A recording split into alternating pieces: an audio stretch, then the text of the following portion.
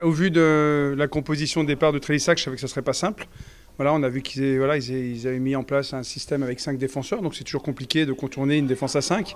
Donc c'est vrai qu'on a eu du mal sur les premières minutes, la chaleur n'aidant pas, pas euh, les joueurs à, à pouvoir enchaîner. Euh, euh, situation sur situation, parce que je pense que c'était assez éprouvant. Donc il fallait être patient sur ce match. Et puis à un moment donné, ça, on savait que s'il prenait un but, ça aurait été difficile de, se relever, surtout, surtout en deuxième période. Donc c'est ce qui s'est passé. Puis que le troisième est venu très rapidement derrière.